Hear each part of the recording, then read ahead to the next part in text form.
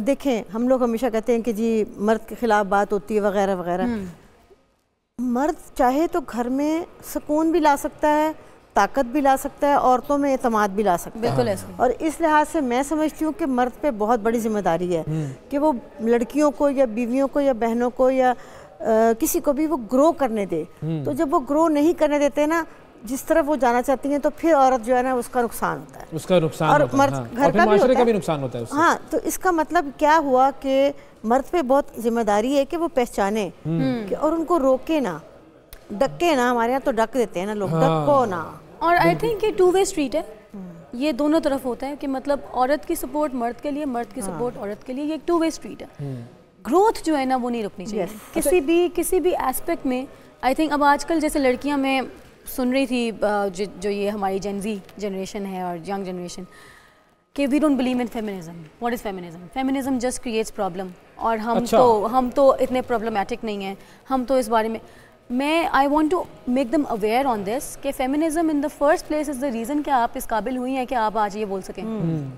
क्योंकि जिस ज़माने में औरतों को जॉब नहीं करने देते थे उनकी तनख्वाह रख लेते थे उनके राइट्स नहीं थे उनके हकूक़ नहीं थे उनके कानूनी हकूक़ नहीं थे तब फेमिनिज्म ही था जो जिसने औरत को इस पॉइंट पे पहुँचाया हाँ, पहुँचाया। कि आज वो इस काबिल है कि वो कह सकती है अपने बाप को कि मैंने ये नहीं करना मैंने ये करना है। शायद वो इस बारे में कह रही हो ना कि फेमिनिज्म क्योंकि हम लोग जो है Idea, क्योंकि एक्सट्रीमिस्ट लोग हो जाते हैं। हम हर जगह पर एक्सट्रीम रवैयों की तरफ़ चले जाते हैं। तो किसी भी रवैये में या किसी भी मूवमेंट में एक्सट्रीमिज्म की गुंजाइश नहीं है। बैलेंस रहकर हर तहरीक चल सकती है। है और कम या ज़्यादा का कॉन्सेप्ट इसका कोई रिलेशन है ही। नहीं। I think the problem is कि लोगों को पता ही नहीं ऐसा मतलब क्या है। यस व्हाट इट इज़ चले हम आपसे पूछते हैं भाई। फेमिनिज्म आपके जमाने का फेमिनिज्म और आज के जमाने का मुझे समझ नहीं आती क्यों।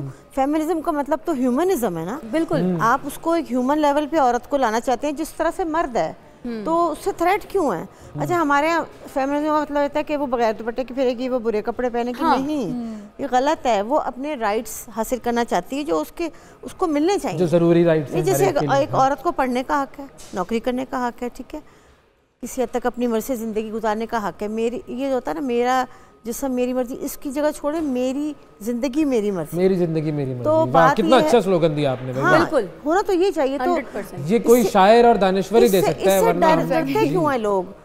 कि ये कह दिया तो इसका गलत गलत मतलब तो आप सोच रहे हैं ना गलत तो ये है ही नहीं। बात तो ये कि एक, एक औरत को वैसे क्यों नहीं जीने दिया था जैसे कि मर्द जीता है। अगर मर्द नौकरी करके आया थका हुआ ठीक है बीवी ने भी कि दोनों आए। मर्द आके- अगर उसको मर्द क्या आके कहता है कि घर के खाना पकाओ चाहे मैं तो थका हुआ तो वो बेचारी किचन में घुस जाती है। तो भाई उसका हाथ बटा दो ना। हाँ दोनों मिलकर करें ये बिल्कुल। फेमिनिज्म का मतलब कोई बुरी चीज़ नहीं है। इसका मतलब है इंसानियत। It's only about basic human rights and same जो बोथ जेंडर्स डिजर्व करते हैं। और क्योंकि औरतों को कम दिए जाते हैं तो उसके लिए हम लड़ते हैं कि आप बराबर दें। अब लैक ऑफ़ इंफॉर्मेशन है। कि now people the younger generation and lot of people from my generation her generation her generation don't know what it means what it is वो लैक ऑफ़ कम्युनिकेशन है ना मतलब क्योंकि हमने बात नहीं। नहीं की। उन्होंने हमने समझा ही नहीं इस गुफ्तगू बात को नहीं कि की। समझा एक दूसरे के पर्सपेक्टिव्स को समझने की कोशिश नहीं की। हम बस एक दूसरे के मुखालिफ सिमत में आकर खड़े हो गए। हमने कहा कि ये भी गलत है ये भी गलत है तो बस फिर तो बिल्कुल होगा। है। ही नहीं। अच्छा स्पोर्ट्स की दुनिया में कितनी इक्वल अपॉर्चुनिटीज़ हैं?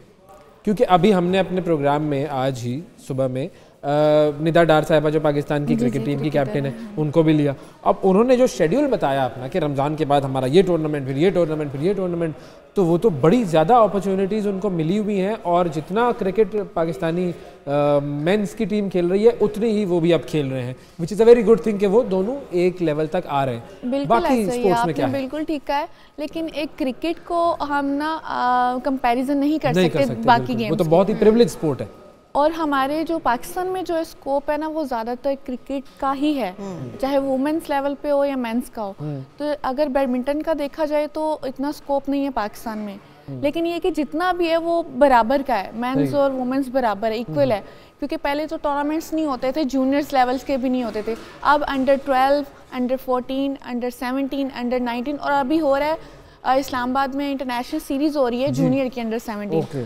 इस्लामाबाद में भी हो रही है टीम्स बाहर से आई हैं और वो कर हो रहा है टूर्नामेंट वुमेंस का भी हो रहा है और मेंस का भी हो रहा है अच्छा, दोनों का हो रहा है। आपकी वालिदा ने पहले मुखालिफत की और फिर अब्बा जान ने उनको मना लिया तो फिर जब आप चैंपियन बन गई तो फिर अम्मा का क्या रिएक्शन था? पहले तो मैं छोटे लेवल की चैंपियन बनी हूँ ना। पहले तो है, चीज- बड़ा बिल्कुल बिल्कुल वो तो जब मेडल आया ट्रॉफी आई तो बहुत खुश हुई कि ये तो वाकई जीत के आ गई है। फिर Aahista Aahista board level Lahore board से को रिप्रेजेंट किया उसमें ट्रॉफी आई उसमें मेडल आया फिर मैं अंडर 16 की चैंपियन बनी उसमें मेडल आया फिर आहिस्ता आहिस्ता उन्हें वो चीज़ समझ फिर ये कि आपको कॉलेज में स्कॉलरशिप मिलती है स्पोर्ट्स हाँ, में। फिर शिप पे आपको एडमिशन मिलता है। सबसे बड़ी बात वो थी कि मुझे इस तरह ऑफर्स आ रही थी nice. कॉलेजेस से कि आप हमारे कॉलेज से खेलें आप हमारी कॉलेज में एडमिशन लें हमारी कॉलेज में हाँ। एडमिशन लें। तो ये चीज़ उनके लिए बहुत ऑनर वाली बात थी। तो उनको इस चीज़ ने बहुत ज़्यादा जो इंस्पायर किया मामा को। तो फिर उन्होंने दोबारा मुझे कभी कभी कभी कोई लाइफ में ऐसा लम्हा आया जिसमें आपको लगा हो कि नहीं भाई ये छोड़ देना चाहिए मुझे नहीं करना चाहिए? आ, या नाकाम होता है इंसान जब स्ट्रगल कर रहा होता है हारता है हम्म। तो हारने के बाद गिरने के बाद उठना ये बड़ा मुश्किल मामला होता है। ऐसा ही अपने आप को बहुत ज़्यादा तैयार करना, करना पड़ता पड़ता है है कभी कहता है इंसान के ना उठो बस। ऐसा भी हुआ कभी? होता है। बीच में कुछ ऐसे होते जब मैं चैंपियन नहीं थी नंबर टू थी हम्म। फाइनल्स आ रही थी तो बहुत ज़्यादा इस तरह हुआ है कि मैं इतनी मेहनत कर रही हूँ। कहाँ कहाँ मतलब कमी रह गई कि मैं जीत नहीं रही? हम्म। क्योंकि मैं डबल्स की भी चैंपियन बन गई थी सिंगल मिक्स डबल की भी बन गई थी सिंगल्स सिंगल्स नहीं हो रहा था। हमारी बहुत अच्छी प्लेयर है माहौर शहजाद। माहौर बिल्कुल जी जिन्होंने ओलंपिक्स में रिप्रेजेंट किया है वो नेशनल चैंपियन हमारी इतनी बार रही हैं तो मेरा टारगेट था उनको हराना।